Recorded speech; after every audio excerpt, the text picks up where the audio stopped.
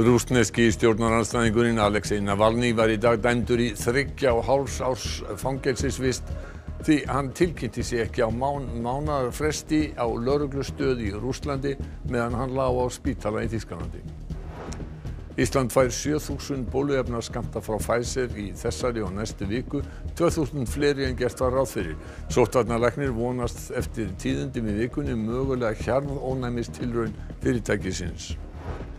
Vestlunum Geysis hefur verið lokað og starfsfólki sagt upp störfum. Starfsfólk fékk einungis rúman helming launa sinna fyrir janúarmánuð greittan.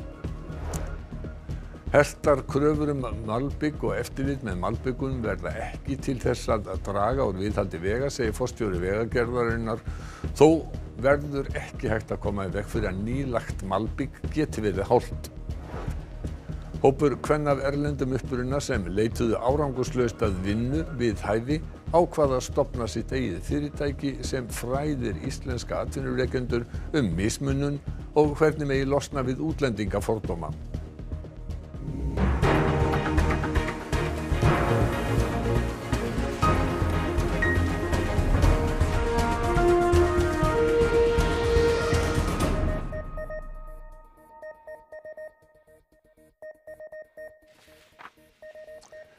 Gott kvöld. Rússneski stjórnarnarstæðingurinn Alexei Navalny var í dag dæmdur í þryggja og hálfs árs fangelsi. Fjöldi erlendra sendi erindrega var viðstættur réttarhöldin. Navalny hefur setið í fangelsi síðan hann kom til Moskvu frá Þískalandi 17. janúar. Þar dvaldi hann á sjúkrahúsi eftir að hún var byrlað eitur í ágúst. Tilefni réttarhaldana í dag er að meðan Navalny var í Þískalandi kom hann ekki mánaðarlega á lögreglustuð í Rúslandi til að tilkynna sig eins og honum ber samkvæmt dómi frá 2014 fyrir fjársvegg. Mannrettindadómstóll Evrópu tilur þann dóm ekki á rökum reistan og sjálfur hefur Navalny oft sagt að dómurinn sé fyrirsláttur til að hindra þáttöku hans í stjórnmálum en vegna dómsins getur hann ekki bóðið sig fram í kostningum. Fjöldi fólks kom saman við dómstólinn í dag og var viðbúnaður lögreglu töluverður Enda hefur verið eftir til mótmæla víða um landið síðustu tvær helgar. Yfir 300 voru handekinn við dómshúsið í dag. Ekki voru leiðar myndatökur í dómsalum en í rúsneskum fjölmiðlum segir hann að Valni hafi sagt að rúsnesk stjórnmöld hafi vel vitað hvað hann hafi verið síðustu fimm mánuði. Hann hafi verið fangilsaður við komuna til Rúslands til að hræða aðra. Það er njónizakon, það sæður človeka. Það er politíski motífum. Sjó aðsíðvíðna. Hvað er það glaðað? Tod vidjet. Fulltrúar fjölmarkra sendir á það erlendra ríkja í Moskvu hlýttu á málflutningin í dag, þar á meðal frá Svíþjóð, Noregi og Bandaríkinum. Utanrikis á þeirra Svíþjóðar fundaði með rúsneskum starfsbróður sínum í dag. I've also urged the release of Alexei Navalny and an investigation of the use of the chemical nerve agent. These are of course the common EU position. Dómurinn yfir Navalny árið 2014 var þrjú og hálft ár. Hann hafði þegar sett í stofufangelsi í tíu mánuði og því dróst sá tími frá dómnum í dag. Navalny þarf að sitja inn í tvö ár og átta mánuði. Fólk er að sapnast saman og mótmæla í miðborg Moskvu og nokkrir hafa þegar verið handteknir. Utanríkisráð þeirrar bandaríkina Þýskalands og Breitlands hafa kallað eftir tafalösi lausn stjórnaranstæðingsins. Lögumenn Navalny ætla með málið fyrir mannrettita domstól Evrópu. Íslendingar fá um 2000 fleiri skamta af bólefni frá Pfizer á næstu tveimur vikum en gert var ráð fyrir. 750 eldri borgarar voru bólusettir í dag. Sænsk yfirvöld grindu frá því í gæra Svíþjóð fengi tvöfalt fleiri bólefna skamta frá Pfizer en upprunalega var samið um. Þórólfur Guðnarsson sóttvarnalæknir segir samningin ekki hafa þau áhrif að skömmtum fjölgi hérlendis, það sem verið sé að leiðrætta þann fjölda sem svíjar áttu að fá. Ísland var 7000 bólefnaskamta frá Pfizer í þessari viku og næstu, 2000 fleira en gert var áfyrir. Þetta er það ágætt en, en, hérna, en það er svona land í land. Svíjar gera nú ráð fyrir að geta bólusett alla fullortna á fyrirluta þessa árs. Þórulur segir ótímabært að segja hvenna það næst hér á landi. Við getum ekki reiknað þetta út út frá þessum tölun sem við erum með núna. Það er ímislegt þetta er að gerast bæði. Við ættum að fá nánari eh, dreifingar áallin frá AstraZeneca og svo er alveg hugsanlegt að Pfizer eigi eftir að uppfæra sín áallun en frekar. Samningaviðræði Pfizer um tilhund til að bólusetja nógu marga Íslendinga til að ná fram hjarðónami hafa verið til umræðu. Við erum að bara bolta mill okkar uh, hlutum, upplýsingum og, og svona hugmyndum og það er ekki komin eitt samningur eða uh, liggur ekki fyrir drauga slíkum samningi. Þórólfur vonast þó til að það drægi til tíðinda í vikunni. Ég vonast til þess en, en, en hérna draugin að samningi koma frá Pfizer þannig að við þurfum bara að sjá, skulum sjá til með það. Um 750 íbúar á höfuborgarsvæðinum, 90 ára og eldri, voru bólusettir við COVID-19 í dag. Það gekk mjög vel, það myndaðist aldrei röð en, en hérna fólki var ótrúlega þakklátt og tillitsamt og, og bara allir fóru eftir settum reglum og þetta gekk ótrúlega vel. Og mörgum var bersinilega létt að fá loksins fyrir sprautuna. Þetta er náttúrulega bara svo stórkostlegt hvernig þetta gengur fyrir sig. Maður er bara fullur aðdánar. Luxus bara. Við erum í luxusflokki, þessu gamlu. Það er búin að vera að verjast þessi heilt ár sko, í sjálfskeiparði sótkví, svo þetta er ekki, ekki lítið dagur. Það þarf enginn að vera hættur við þetta bara að slaka svolítið á og bara njóta þess að fara út og vera með öðrum og skoða hina sem er nýræðir blús. Öllum starfsmönnum fattaverslana Geysis hefur verið sagt upp og búðunum lokað. Starfsfólk fekk einungis greitan hluta launa sinna fyrir janúarmánuð. Starfsmenn verslananna fengu uppsagnabrefið á sunnudagskvöld. Í gær voru þeir svo boðir á fund í verslun Geysis á skólafröðustík. Verslanir Geysis eru sex talsins, félagið Arctic Shopping rekur fimm þeirra og til viðbútar á félagið nokkrar verslanir sem engum stílaðin á erlenda ferðamenn. Uppsögnin telst hópuppsögn en starfsmenn geysisverslanana telja nokkra tugi. Samkvæmt heimildum fréttastofu fengu starfsmennir einungis hluta launa sinna fyrir janúamánuð greittan eða um 60% þeirra. Flestir starfsmenn eru félagar í Vaffer. Fulltrúar stjættafélagsins sátu starfsmannafundin í gær. Bryndi Skuðnadóttir forstuðumöður Kjarasviðs Vaffer segir að félagið sé að abla upplýsinga um fjölda starfsmanna í samvinnu við fyrirtækið. Vaffer ráðlaði starfsfólki að sækja strax um atvinnuleysisbætur og hegst tryggja að það fái uppsagnafrest greittan. Ef Arctic Shopping verður ekki úrskurðað gjaldtróta fljótlega verður ráðist í hefðbunnar innheimtuaðgerðir. En Bryndi segir forsvarsmenn félagsins stefna að því að það verð ekki meira óhagræði en þegar er orðið. Geysisverslanirnar skiluðum 100 miljóna hagnaði bæði árin 2018 og 2017 en árið 2019 fóra hallaðins undan fæti. Í umfjöldun stundarinnar kemur fram að eigandi félagsins Jóhann Guðlaugsson hafi í brefi sínu til starfsmanna kent heimsfaraldrinum og viðbröðum stjórnvalda um það hvernig fór. Arctic Shopping hafi glýmt við mikla rekstrarörðuleika og tímabilið allt hafi engjænst af misvísandi upplýsingum um þróun veirunar, sóttvarnir og möguleg lániða styrki. Óvissan hafi þó farið hratt minkandi með lækandi sjóðstöðu félagsins. Ekki náðist í Jóhann Guðlaugsson í dag þrátt fyrir ítrykkaðar tilraunir. Þjóðvegur eitt milli Norður og Ísturlands hefur verið lokaður í mestallan dag vegna hættu á nýju krapaflóði í Jökulsá á fjöllum. Vasshæð við Jökulsár brú er mjög mikil vegna krapa í áni en mælar sínu þó að vassborði hefur lækkað frá því í gær. Það getur bent til þess að krapinn fari minkandi við brúna en áframhaldið ræðist að miklu leiti af veðri næstu daga. Ekki hægt að útiloka að aðra krappastíplu síðan myndast ofar í áni.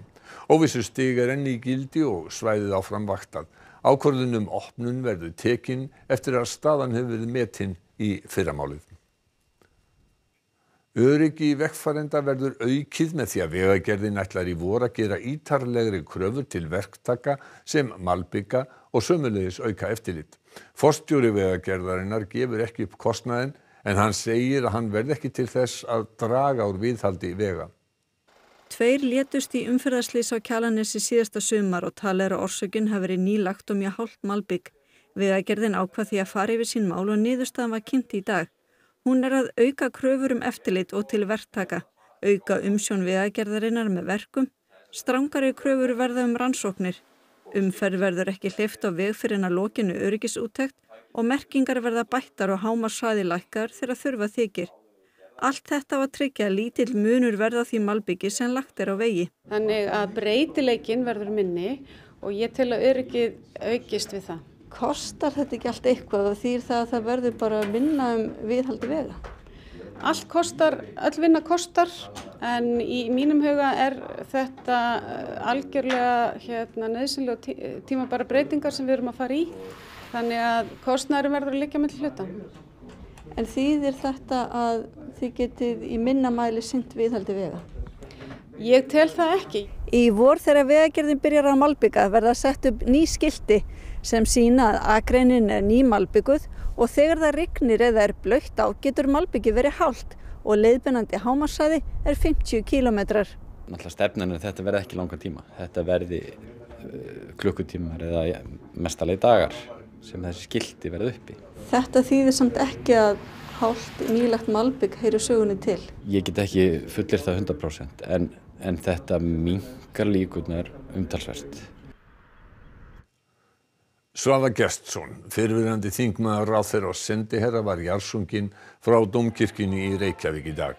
Svafa lést 18. janúar síðastlinn 76 árað aldri.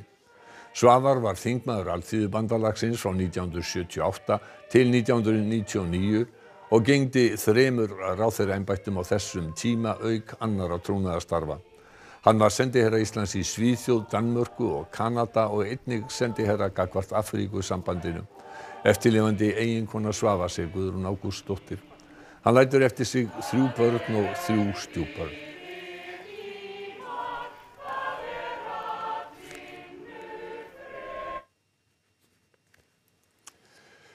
Félagsmálaráðherra segir sláandi að sjá hversu margir búi ólöglegu íbúðarhúsnæði á Íslandi.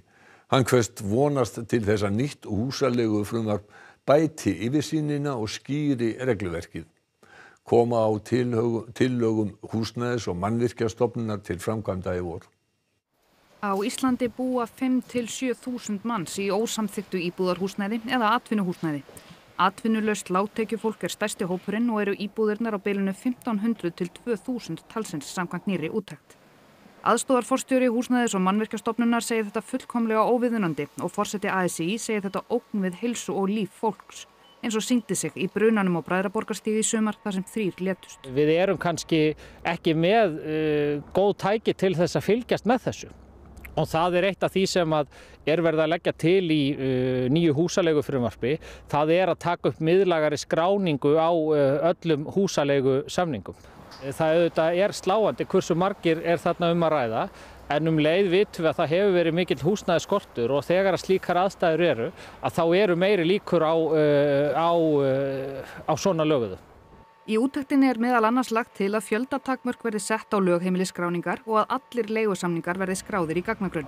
Eftir brunan á Bræðraborgastíga þá óskaði ég sérstaklega eftir því við húsnæðis- og mannvirkjastofnun sem er svona framkvæmdar aðili stjórnvalda á sviði húsnæðismála að þeir innu ákveðnar tillögur að aðgerðum til þess að, uh, til þess að ná betur utanum akkurat þessi atriði á húsnæðismarkaði og ég uh, veit að það er, uh, það er tillagna vænta til ráðherra síðar í þessum mánuði og ég hyggst síðan fylgja þeim fast eftir og koma þeim til framkvæmda nú á vorþingi.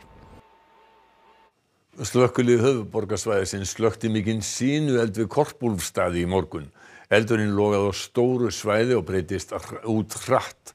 Reykur lág yfir Víkurhverfi og voru íbúar beðnir að loka gluggum. Korpúlstaðavegi var lokað við bakkastaði og um tíma var talin hætta á að eldur myndi berast í eina braut golvallarins golvallar golfklúps Reykjavíkur. Vel gekk að ráða niðurlegum eldsins en elds upptök eru ókunn. Alþjóðlegu þrýstingur ekst á herfóringjastjórnina í Myanmar. Þingmenn og ráþeirar eru enn í haldi eftir valdarán í gær. Talið er að um 400 þingmönnum hafi verið haldi í þessum byggingum sem tilheyra þinginu fram eftir degi. Nokkrum hefur verið sleft. Ekki er vitað hvar leiðtóa landsins Ásang Suu Kyi er haldið. Herin hefur gefið þá skýringu á valdaráninu að tali sig að brauð hafi verið í tapli í þingkostningum í november þegar flokkur Suu Kyi vann stór sigur. Herin ætlar að fara með völdin í eitt ár og halda þá kostningar. Öryggisráð saminuðu þjóðana fundaði um stöðuna í dag. Utanryggisráð þeirra Japans hefur kallað eftir lausn leiðtóhans og annara. Fleiri hafa brúðist við tíðundunum, þar á meðal Joe Biden fórseti bandaríkjana sem hefur hótað herfóringjastjórninni refsjaðgerðum og hvart aðra til þess sama. Almenningi í landinu stendur ekki á sama um stöðuna og í borginni Yangon kom fólk saman í kvöld og þeitti bílflautur.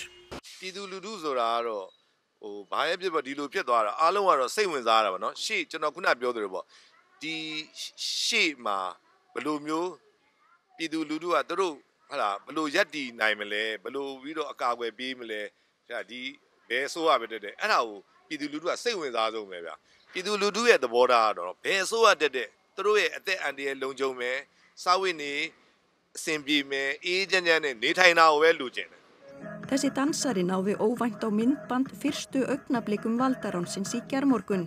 Eins og ofta áður tók hún sporið við þingúsið í höfuborginni Nebitá og byrti á samfélagsmiðlum.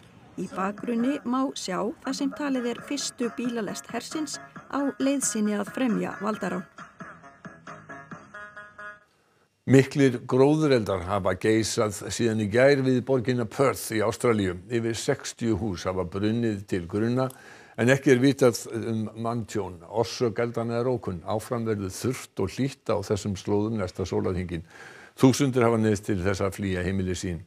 Það er ekki aðeins viðbúnað vegna skóarelda í Perth því sex daga útgöngubann vegna COVID-19 tók gildi í borgin á sunnudag. Þar greindist eitt smitt. Yfirvöld ráðleikja þó fólki að virða þær reglur að vettugi ef hætta að steyðja rað vegna eldana. Hópur kvenna velendum uppruna sem átti í erfileikum með að fá vinnu við hæfi sneri þessum ósigurum upp í tækifæri og stopnaði eigin ráðgjafar og ráðningarfyrirtæki.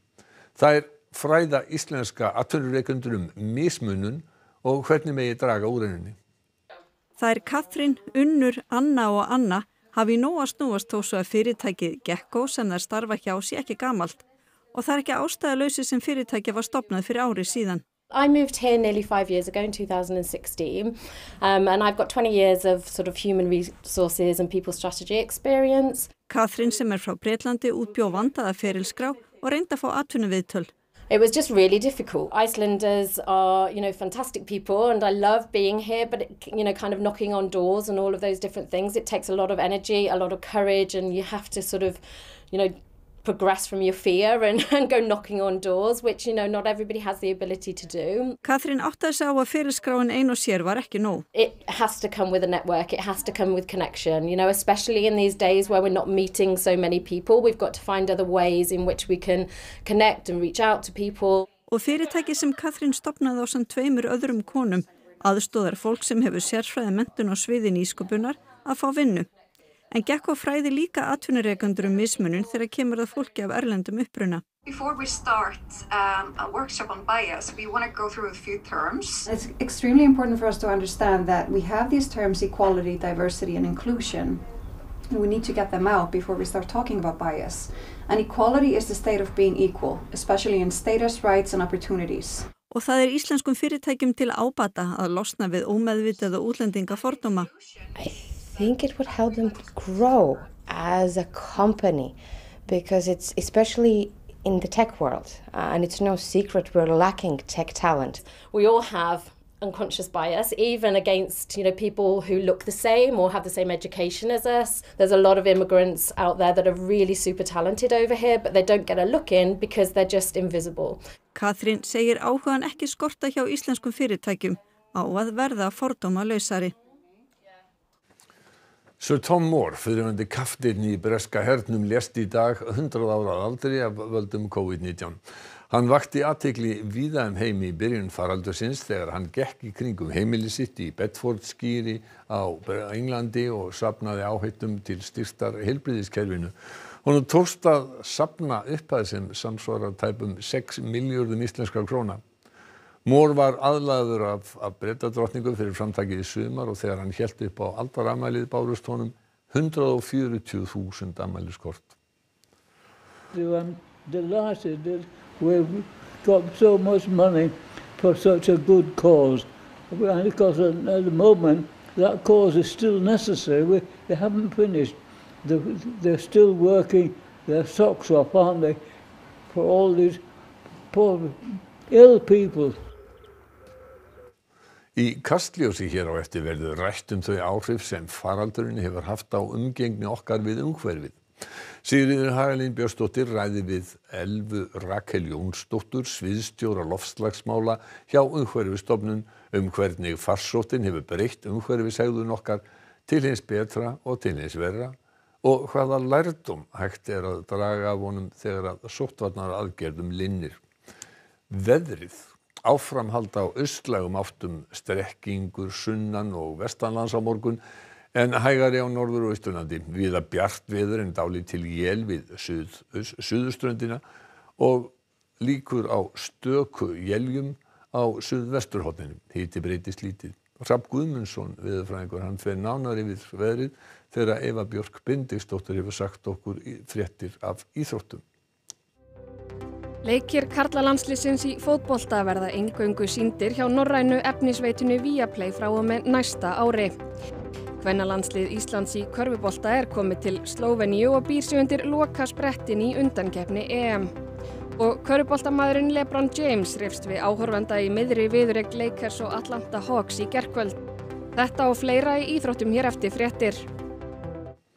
Helstu aðtriði fréttana hjá okkur í kvöld. Rúsneski stjórnarnanstæðingurinn Alexei Navalny var í dag dæmdur í þryggja og hálsárs fangelsi vegna þess að hann tilkynnti sig ekki mánaðarlega á lauruglustuði í Rúslandi meðan hann lá á spítala í Þískalandi.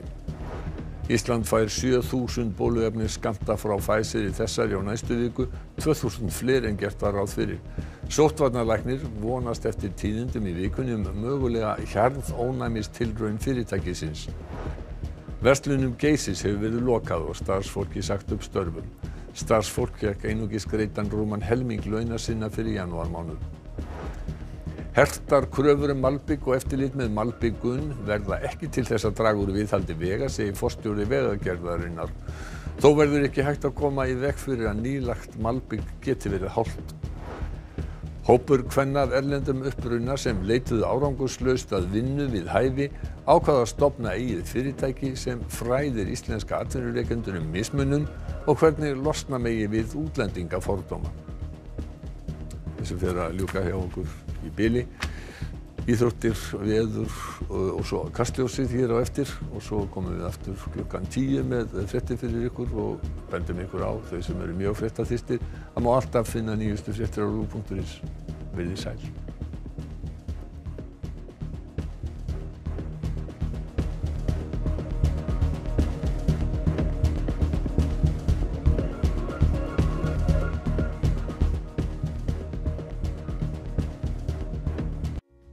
Á RÚF í kvöld. Nú heyrum við það að ríku þjóðurnar eru að, ég má segja, sanka að sér bóluefnum. Þessu umræði hefur verið mjög, á, mjög áberandi hér að við eigum, höfum einhvern guðskefin rétt á því að vera á undan öllum öðrum þjóðum. Okkar á milli er viðtalstáttur þar sem Sigmar Guðmundsson fær til sín gesti sem hafa áhugaverða sögu að segja. Eldað úr afskurði eru þættir þar sem norskar stjörnur elda dýrindis kræsingar úr mat sem hefði annars lent í ruslinu.